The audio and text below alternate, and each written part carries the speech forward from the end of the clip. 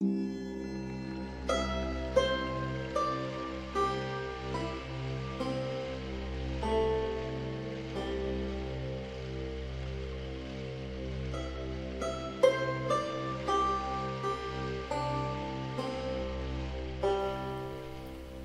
gente lo sabe, pero muy cerca de la ciudad de Barcelona hay un complejo científico muy especial.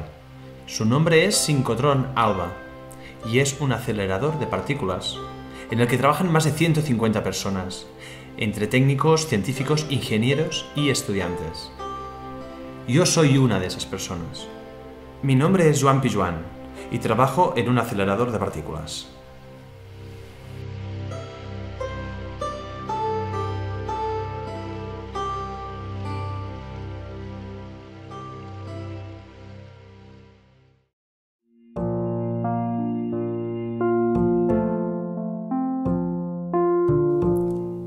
Es fácil explicar cómo acabé trabajando en un acelerador.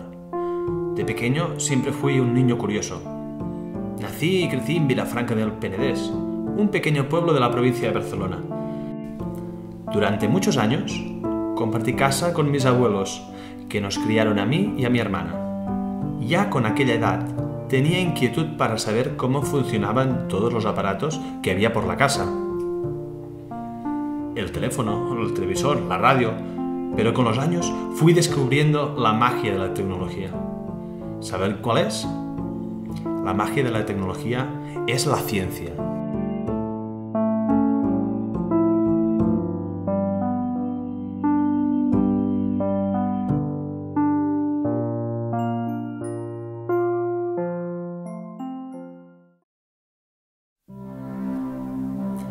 ALBA es un acelerador de electrones que se utiliza para generar luz sincrotrón, un tipo de luz que permite analizar la estructura y propiedades de la materia.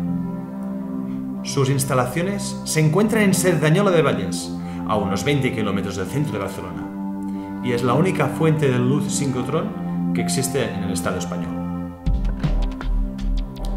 Lo que más me sorprendió cuando comencé a trabajar en el sincrotrón fue todo el lenguaje técnico de los dispositivos y los subsistemas del acelerador, además también de los conceptos físicos. Pero poco a poco fui aprendiendo todo el argot que se utiliza en la instalación. La sala de control, donde yo trabajaba como operador, está compuesta por más de 30 pantallas que informan en todo momento del estado de cada uno de los componentes. Desde allí se controla toda la maquinaria. Es el cerebro del acelerador. Aunque la mayoría de incidencias se resuelven desde la sala de control, en ocasiones es necesario acceder al interior del acelerador para revisar o resolver alguna incidencia que pueda comprometer la operación. El interior del acelerador es un túnel blindado con muchos electroimanes y kilómetros de cableado básicamente. Cuando estás aquí abajo, tienes que ser muy cuidadoso y seguir al pie de la letra los procedimientos y medidas de seguridad. Por ello, llevamos siempre un dosímetro para medir los niveles de radiación. En mi caso, un par de veces tuve que entrar en el acelerador después de una parada repentina. En una de las ocasiones, la parada se debía a una obstrucción en un sistema de refrigeración. En otro caso, hubo una fuga de agua en un electroimán. En la actualidad ya no trabajo como operador. Estoy en el departamento de computación, donde se encuentra el centro de procesado de datos, que gestiona toda la información de los laboratorios. Se podría decir que es donde se almacenan principalmente los resultados de los experimentos científicos.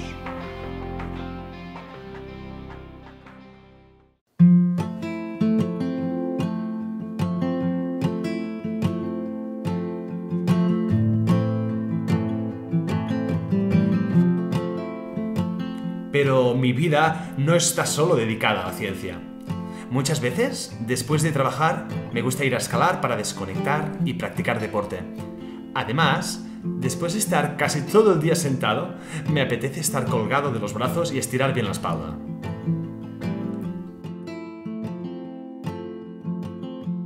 Desde los 16 años empecé a introducirme al mundo de la escalada con unos amigos. Empecé a entrenar en robódromos privados, pero más tarde comenzamos a escalar en roca.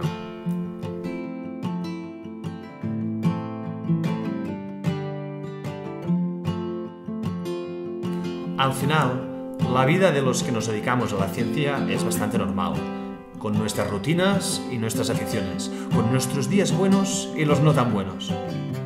Aunque sí que es cierto que a veces me paro y me digo, ostras, estoy trabajando en un acelerador de partículas.